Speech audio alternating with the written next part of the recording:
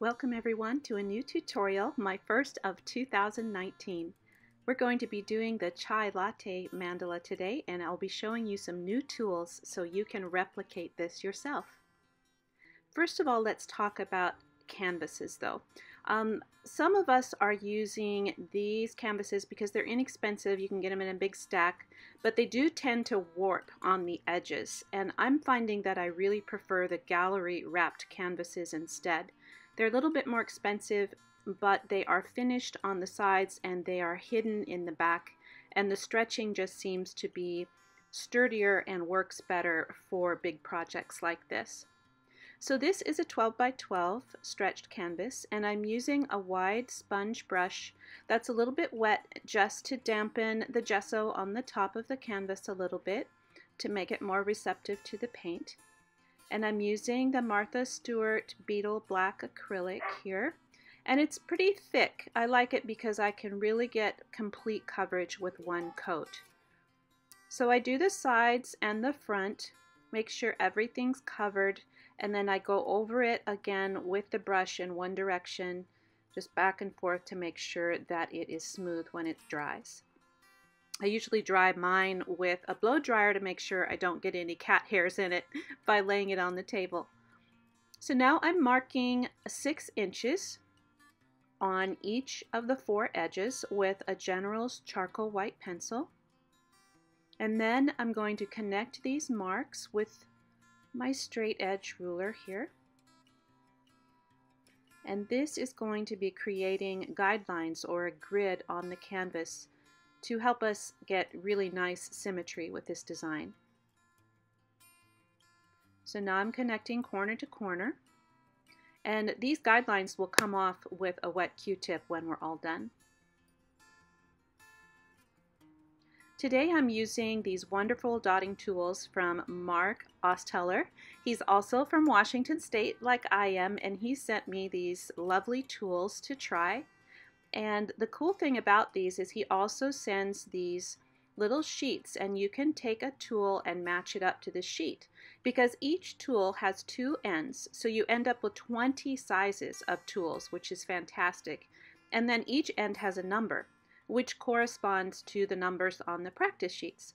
So you can really get some good practice with just learning how your tools work and how big the dots are using Mark's kit. And today I'm going to be using his tools and I will be numbering them um, as we paint so you can follow right along if you purchase his set on Amazon. But first, we need to get some paint colors.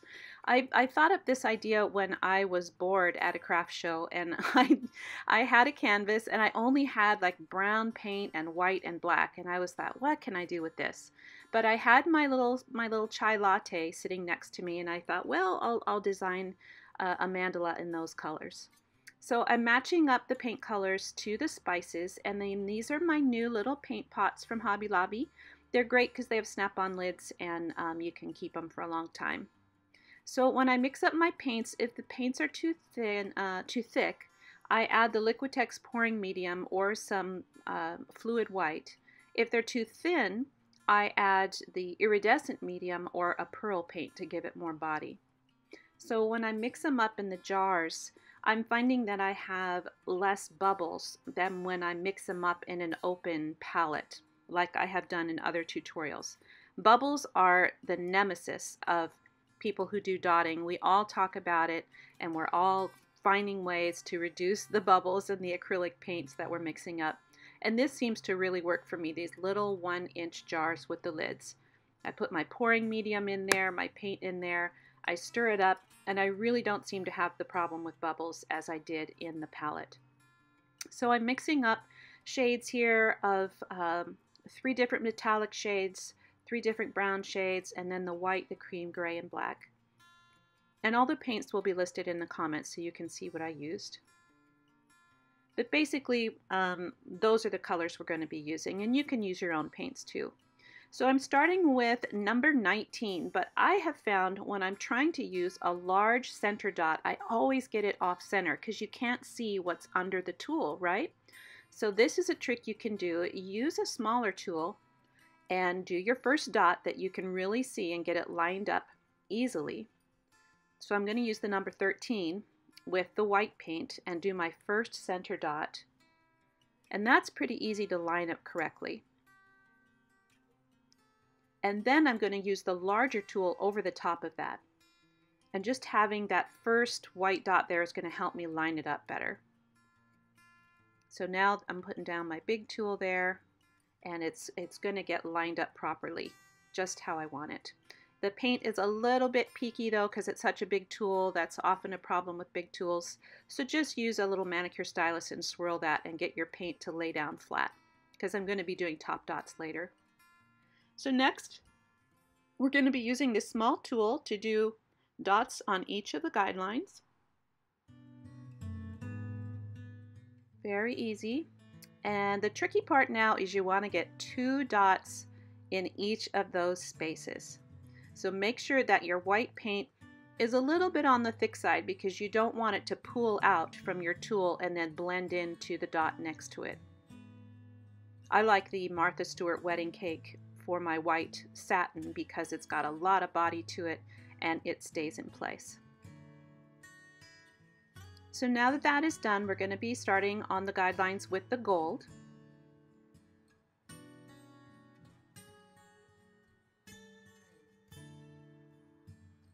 one on each of the guidelines as close to that center ring as you can, and then going to the light brown and putting a dot in between each of the gold dots.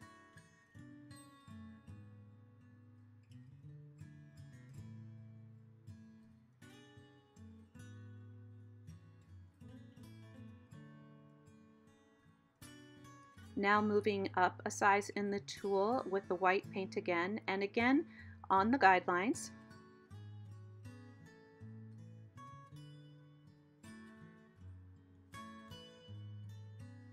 And then using the smaller tool, also on the guidelines, we'll be doing three white dots on this guideline. Just using the next lowest number it's the wonderful thing about Mark's tools. You can really get exact sizes because there are 20 different tools and you just walk them down by number to walk your dots down to a smaller size. So now we're back to the light brown again. I'm going to fill in that space between the guidelines.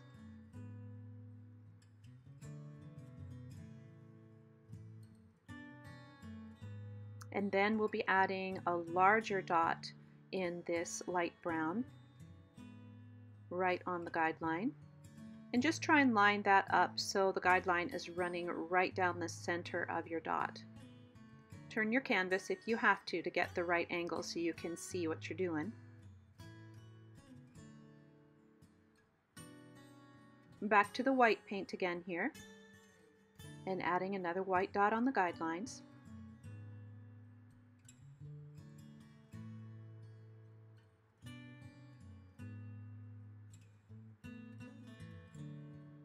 and then a smaller white dot on either side. Makes a like a little Mickey Mouse head there. Back to the gold.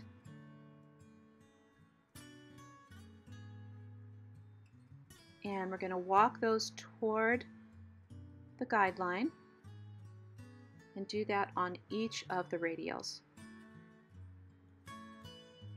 I found that Mark's uh, smaller tools were just fine for walking the dots. I've been always using my manicure stylus, but this tool worked just fine.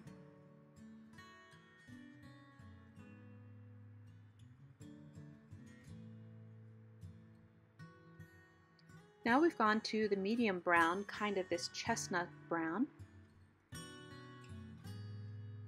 Again, just fitting that right in between the radials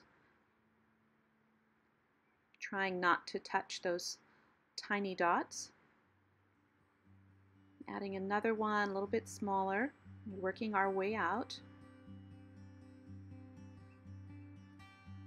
And now we're moving to the beautiful copper paint. Mine is the uh, iridescent copper from uh, Golden Fluid Acrylics. I love this copper. It is so vibrant. Really looks like a shiny penny when it's dry. a new penny.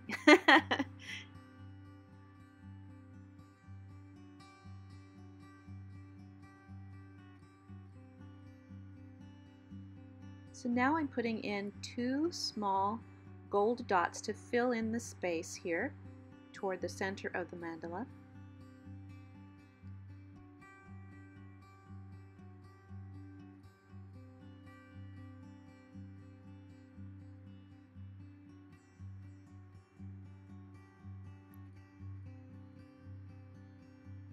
and using the light brown to uh, put some small dots around the large copper dot. And you'll notice I'm not walking these, I'm redipping every time to make these all the same size.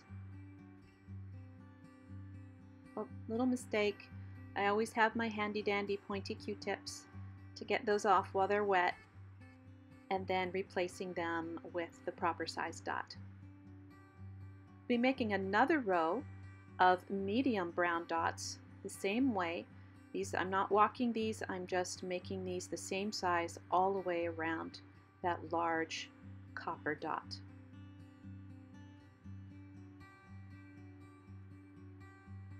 Redipping every time to make sure they're all the same size.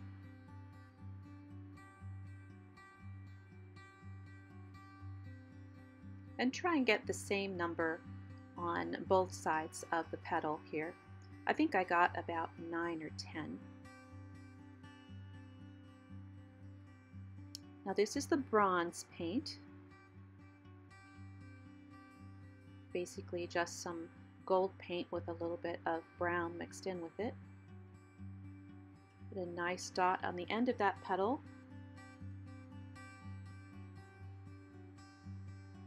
and then two more on either side.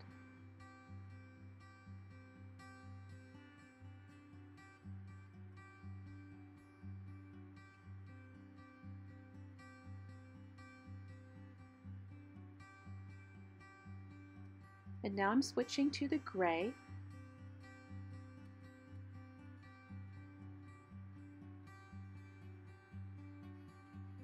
This is one of my favorite things of doing large petals on a mandala on a canvas like this.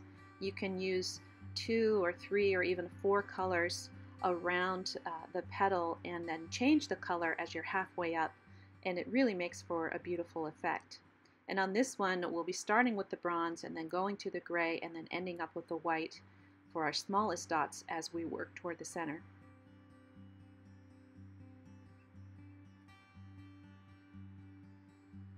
Okay, now switching over to a smaller tool to walk up some white dots.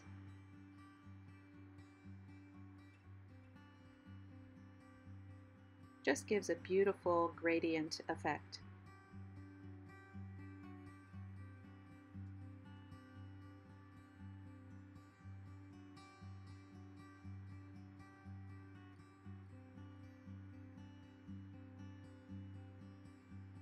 To the lovely copper paint and we just have enough room in between the petals to put a dot in there.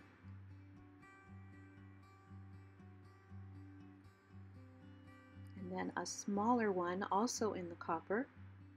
Just working our way out in between those petals so we can start another petal, another larger one.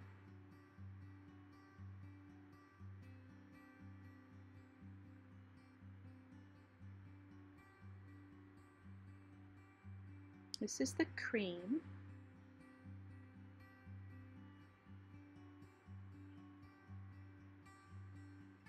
Fit that right in there. Again, getting as close as you can to the petals on either side without touching.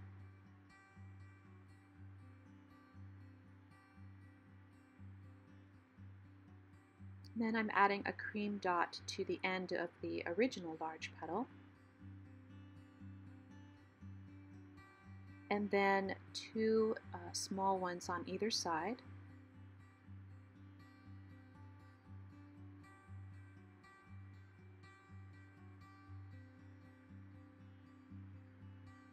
And this is just giving more of a pointed end to that petal.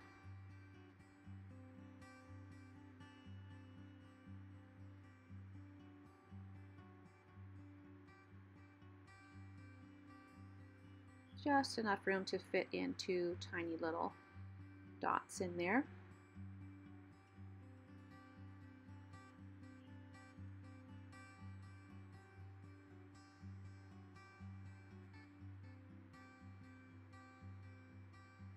We're back to the copper. And use the larger tool again. And this is a little tricky because we don't have a guideline on here. This is really just line of sight. You need to look across the canvas at your row and make sure that your dot is lined up center in between those two petals. I always like to reach across so I can just look line of sight down that row to get that lined up.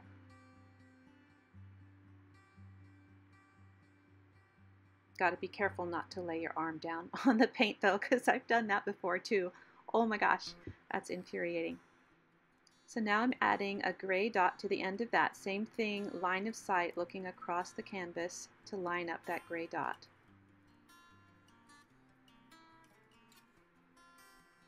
So now I'm going to be adding three bright copper dots on the end of this row, like little spice berries there.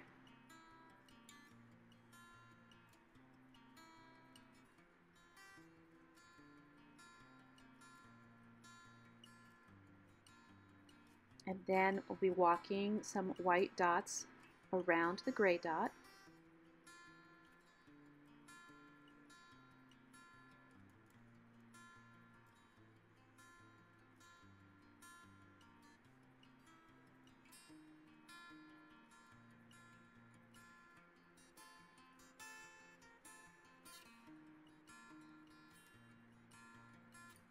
Now back to that lovely bronze, just kind of filling in the space of that radial a little bit so it's not quite hanging out there looking too skinny.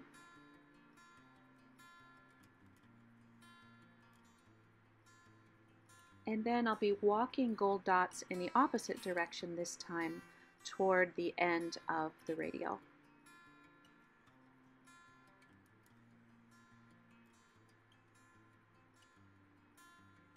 And now just a small white dot on the end of each of the large petals.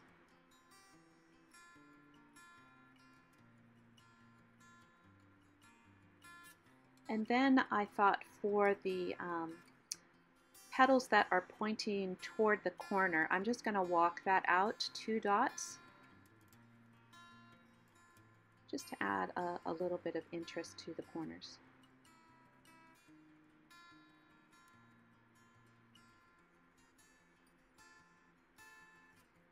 So now the first layer has dried. Let that dry for a while. You could see that the copper dots are still looking a little clumpy. That's just because I swirled them because I knew I was going to be doing top dots later. It's a nice gold top dot on the center of the mandala and some gold top dots for the first part of the main petal. Going to be a lot of top dots on this, so bear with me. it's one of the things I learned from Ginger at Traveling Kindness Rocks is to, to really just go whole hog on the top dots and put light ones on top of dark ones and dark ones on top of light ones and to make triple dots because it adds such wonderful uh, interest and depth to your designs. So I'm just um, patiently kind of showing you some of the top dots here and you'll see that um, I'm using the same colors that, that we've been using this whole time but just putting them on in different combinations and you'd be surprised at the different effects you get.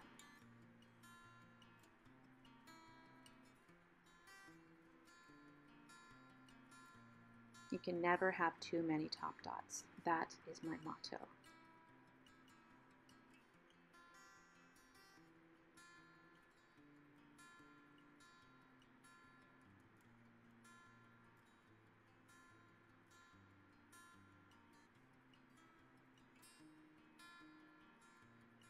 Haven't really shown you here, I'm, I'm wiping off Mark's tools with a wet paper towel. And as I was working, sometimes they got a little bit covered in paint, especially on the big copper dots. So I just run over to the sink and wash them off. But Mark's tools, you can also clean them using um, isopropyl alcohol and just soaking them in that and the paint comes off really easily that way too. And these tools are not going to roll away from you on the table. I've had that happen too, and I have paint marks all over my floor because other tools have rolled away from me, but these don't roll, so it's great. He just thought of everything.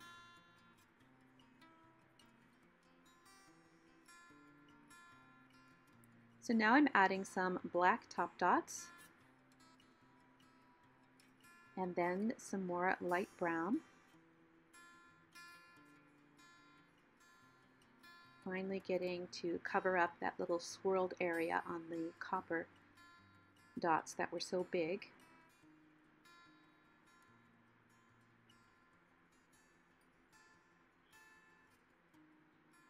Now some of the cream top dots.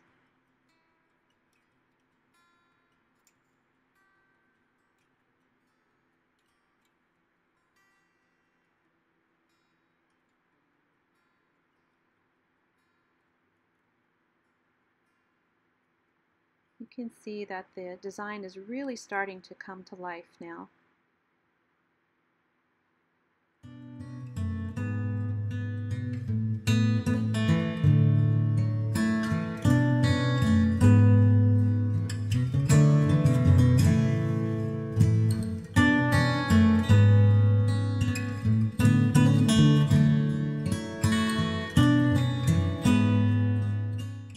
Just going to do a simple corner treatment here uh, with the dark brown paint and the number 19 size on the tool and then the 17 on either side with the same uh, dark brown.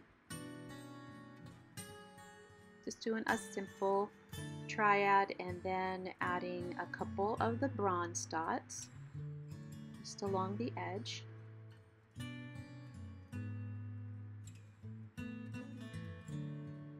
Didn't want it to make too fancy of a corner treatment because the mandala itself is very complicated. So I wanted to go kind of a simple effect here, almost like um, like a leather tooled effect in the corners.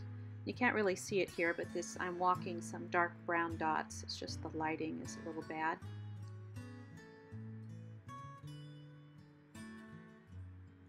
And then once that all was dry, I added some large black top dots, which will um, blend in with the background when it's dry. So you will notice that the corners are finished, but they won't really stand out.